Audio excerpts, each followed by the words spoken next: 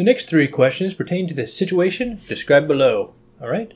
A box of mass 3 kilograms is initially held at rest near the top of a frictionless ramp. Okay, so initially held at rest, that's going to imply that the initial is 0. Makes an angle of 20 degrees, assume that's degrees, uh, with respect to the horizontal. When the box is released, it accelerates down the ramp. Excellent. Total work done by all forces on the box as it moves a distance d down the ramp is bump, bump, bump. Okay, so we got motion here. I'm going to refer to this as r. So we're going to have whoop, an r vector, meaning direction, going that direction. Definition of work is f dot dr. These are both vectors.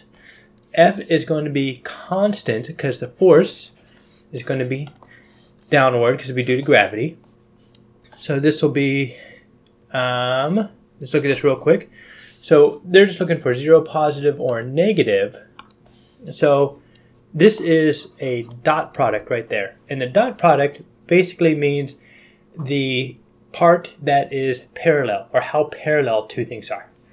So if we look at this r vector here, we can decompose it into rx and ry. And it's only the part that is parallel, as opposed to cross product, which is perpendicular, it's only a part that's parallel that's really going to be counted here. So this would be the same as integral f dot dry. So doing the dot product of this long r vector is the same as doing by the dot product of this y component here. Okay, little vector there. Excellent. So what we're concerned about then is this portion and this portion. And since this force and this y component are in the same direction, it's going to be positive. So one of the ways that you've probably been told about how to find the magnitude of a um, dot product is by cosine of theta. So magnitude of f dot dy, is there two bars? I'm going to say one. Yeah, I'll do two. Eh, nope, one looks better. Magnitude, hmm, not sure. I should know that.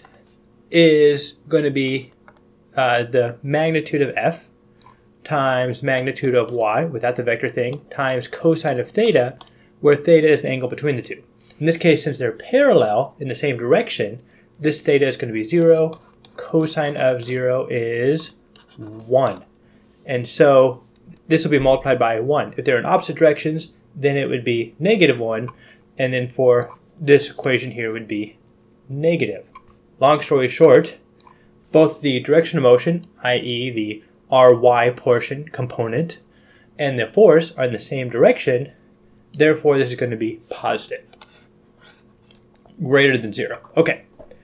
After the box has moved a distance d equals 1.1, okay, down the ramp from its starting point, what is its speed? Okay, so work is a change in energy.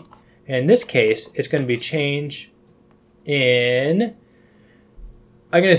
What's going to happen is we're going to have a change in um, potential energy to kinetic. So we're going to convert the potential energy of this height to kinetic energy at that height, which I'm going to call change in energy potential, which will be mass times gravity times change in height. So this height, h, I'll call that a delta h. Delta h is going to be uh, let's see here. This is theta. This there. We're going to call it sine of theta. So this is would be cosine. This would be sine. So if we're looking at a triangle, draw it real quick. So we have a triangle like this. This is d. This is delta h, and this is theta. And we have SOHCAHTOA. SOHCAHTOA. It's a mnemonic to remember your trigonometric identities. Sine, cosine, tangent. And to find this height here, we're going to use the cosine. Cosine of theta equals adjacent. Oh no, we're going to use sine. Good cal. Sine. Whoop. Sine of theta equals opposite delta h over hypotenuse, which is d. Therefore, rearranging this, we'll find that delta H equals d sine of theta. Oh, there we go. And so, rewriting this one more time, mg, okay, one, we'll do two more times. mg d sine of theta, and this will then be equivalent to some sort of um, kinetic energy, 1 half mv squared. Simplifying, the m's will go away, so the masses become irrelevant, don't matter. And we have v squared equals 2g d sine of theta. V equals, bump, bump, bump. Hmm. But I think we got this. Okay, calculator time. On clear, 2 times 9.81 times 1.1 meters, which is the distance, times mode, click, click, degrees. Hopefully it doesn't erase everything. It doesn't. Times sine of 20, 20 degrees. Does that seem reasonable? And so v squared equals 7.38. I just want to get that written down before it disappears. I have little faith in calculators. I know. So, so unfaithful. and lack of faith. 2.717. 2.717 meters per second. Whoop. Let's see what we got here. 2.717. That'll be this answer right here. B. So what we did is we just took the um, kinetic energy, or the potential energy from the height, converted it to um, kinetic energy. And if you saw here, the only part that mattered was the height that it fell. That's expressed here with the dot product, dot dr. So if we had a box that fell straight down, um, I guess it'd be d sine of theta, or we have a uh, block that slides, d, with an angle of theta, in the end, as long as they fall the same height, they'll have the same kinetic energy at the end. Okay, now we suppose that there is coefficient, there's a friction between the box and the ramp, and the box accelerates down the ramp. The kinetic coefficient of friction is mu k. As the box moves a distance d down the ramp, total work done by friction is. Okay, so this is almost a completely unrelated question. So we have a box like so going down a ramp, and we have a force friction going this way. We have force gravity going this way. We have theta going that way, and then we have some sort of force normal keeping the box um, from falling to the bottom of the ramp.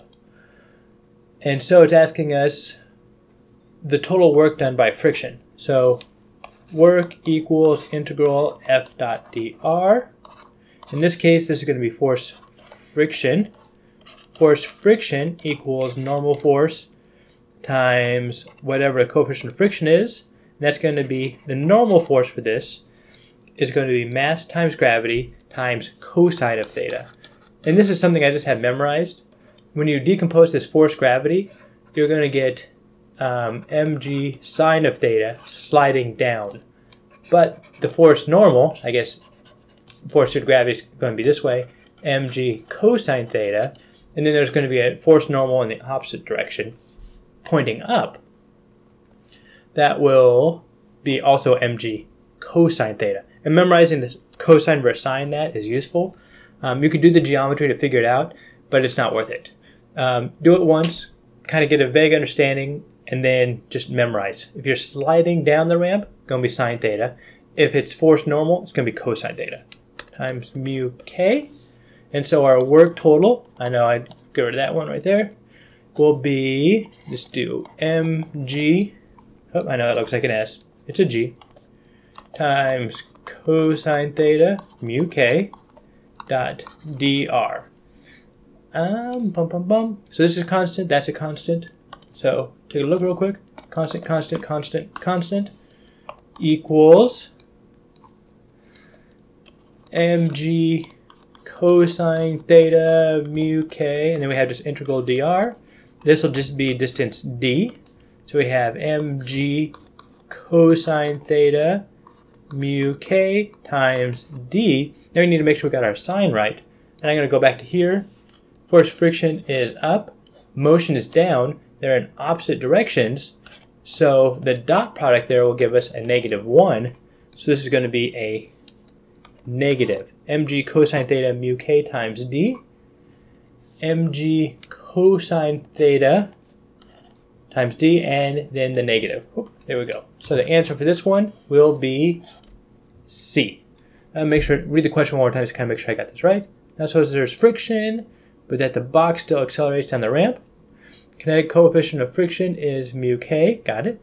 As the box moves distance down the ramp, total work done on it by friction, okay? Work done on the box by friction. So box is moving down, friction is pointing up, so we got the negative, and it's gonna have to do with the normal force, which is why we have the cosine theta. Yep, I'm good with that. So to backtrack real quick, um, this is about a box sliding down a ramp, converting potential energy into kinetic. And the key equation we need to understand here is work equals integral F dot dr, where you're taking integrate, you're integrating the force along the path of dr, the motion of the box, and that dot product is basically saying only use the portion of r of the motion that is parallel to the force. So I hope that helped. I will see you next time.